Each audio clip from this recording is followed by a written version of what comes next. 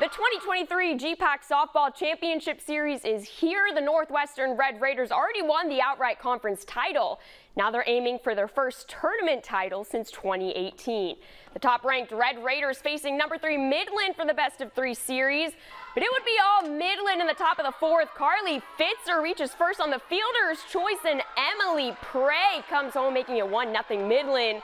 Later on, Aaliyah Rincon sends one up the middle. The Red Raiders focus on second here, but she's safe, leaving time for Amanda Chamadre to score. Just like that, it's 2-0 Midland. Then here comes a wild pitch. Kiera Painter kicks it into gear from third, and she slides in safe to make it 3-0 Midland. Bottom of the fourth now, Red Raiders get on the board as Gwen Michelson pops one up high to right. They take advantage as Maddie Kavatek scores on the sac fly, but that would do. Midland takes game one, six to one. So now we go to game two, a must win for Northwestern to keep their chances alive.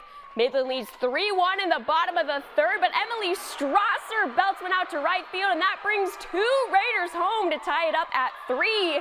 And folks, we got a ball game here. Top of the fourth now. Midland's Alexis Page rockets this one deep. She goes the distance for the solo home run, and she is all hyped coming around as the Warriors take a 4 to 3 lead.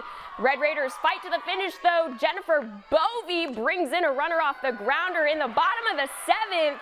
But Midland would be crowned the GPAC tournament champions. Final score 5 to 4. but both teams now advance to the NAIA National Tournament.